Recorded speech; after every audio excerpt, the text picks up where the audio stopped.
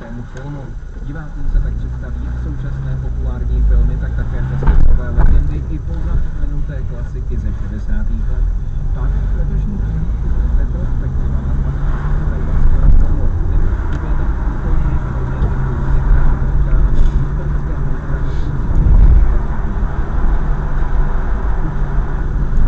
Tak namáčknem, v kolik budeme doma.